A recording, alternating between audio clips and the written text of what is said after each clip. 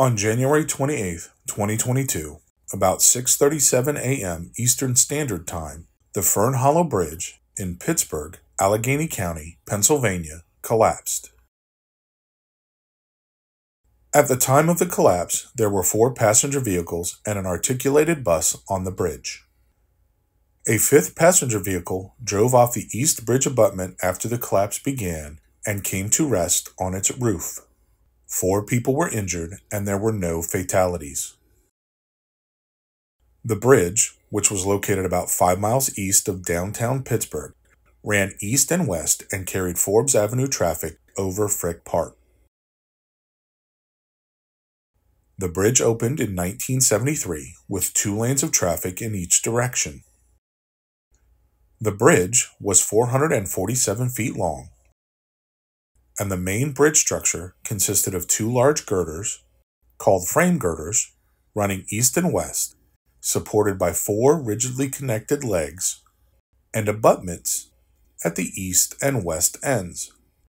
Each leg was about 60 feet long and oriented at an angle with respect to the frame girders. Each pair of adjacent legs were connected by cross bracing. This design is referred to as a K-frame due to the way the frame girders and legs form a shape similar to an elongated K when placed on its side. Each leg was constructed of welded steel plates forming an I-shaped cross section. The two flanges were the main load carrying parts of the leg. Each leg narrowed from top to bottom and then tapered to a shoe that rested on a reinforced concrete thrust block. On the inside of each leg, longitudinal and transverse stiffeners were welded to the web and flanges to resist buckling. The outward sides of the legs did not have these stiffeners, but, like the insides of the legs, included a transverse tie plate and longitudinal bearing stiffeners running the length of the shoe. The tapered legs cause compression forces in the flanges to push outward.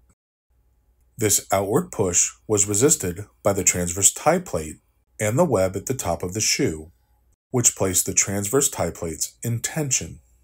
By design, the transverse tie plates were thicker than the transverse leg stiffeners to carry the forces at this critical location in the leg. The bridge was constructed of uncoated weathering steel, an alloy designed to form a protective surface layer of rust called a patina. The patina develops over time through repeated wet dry cycles. Because a properly formed patina resists corrosion, using this material eliminated the need for painting or coating. This is an overhead view of the bridge taken shortly after it collapsed. A Port Authority articulated transit bus was traveling from west to east on the bridge prior to the collapse. It was equipped with video cameras, including one facing forward at the front of the bus and one facing rearward along the right side of the bus. In the rearward facing video, the beginning of the collapse can be seen as the railing near the west end of the bridge begins to drop. As the west end of the bridge fell, video from the forward facing camera shows the east end of the bridge still intact. This video evidence indicated that the collapse started near the west end of the bridge.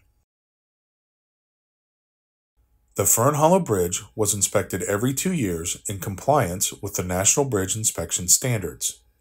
Starting in 2014, the Pennsylvania Department of Transportation required the bridge be inspected every year due to its condition rating and 26 ton weight restriction, also known as a posted load limit. Inspection reports over the years repeatedly documented clogged drains in areas where leaves or other debris collected, allowing water and road salts to run down the bridge legs and accumulate on the legs near the transverse tie plates. This accumulation of water and debris on the bridge legs prevented these areas from drying, which, in turn, prevented the protective patina from forming on the uncoated weathering steel.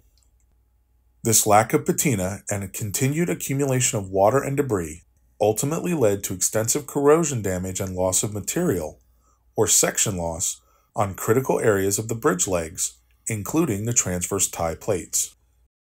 The inspection reports documented some of this section loss, which progressed to the point that there was thinning of and holes through numerous structural elements on all four legs. In 2009, due to corrosion of the leg's cross bracing, steel cables were added to both sides of the bridge legs, connecting the top of one leg with the bottom of the other leg, forming an X. The cables were intended to be used as a temporary measure until the rigid cross bracing could be replaced with new cross bracing of the same kind. This was never completed.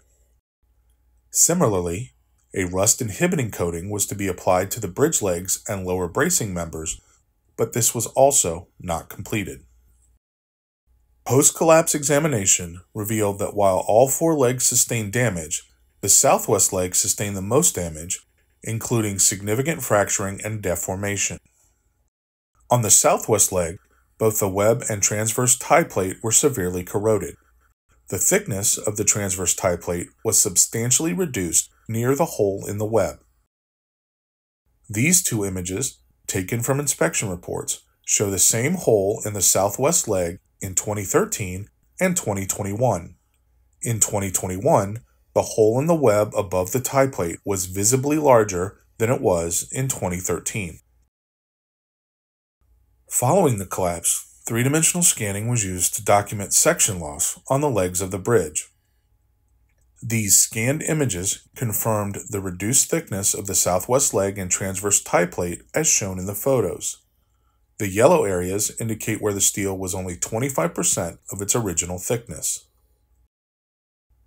During the collapse, the bottom flange, highlighted in blue, separated from the web and the transverse tie plate, and the flange curled back onto itself as shown here. The bottom of the leg also bent approximately 90 degrees, changing the orientation of the shoe. While these deformations are being shown separately for illustrative purposes, they would have occurred simultaneously during the collapse of the bridge. Post collapse photographs of these damaged portions of the leg have been superimposed. Taken together, the observed post-collapse damage to the bridge, the reduced thickness of the southwest leg's transverse tie plate as documented in the inspection reports and 3D scanning, and the video footage from the bus cameras indicate that the collapse of the Fern Hollow Bridge began when the transverse tie plate and the southwest bridge leg failed due to extensive corrosion and section loss.